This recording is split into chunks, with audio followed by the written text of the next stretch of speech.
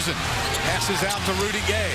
Rudy Gay floats it in. It's deflected and blocked, and Amir side gives it up to Rudy Gay, driving in on Howard. Howard made him chip. Been looking for Rudy Gay almost exclusively, and Lowry takes it up on the drive, and it's tipped up and in. It's going to be Terrence Jones.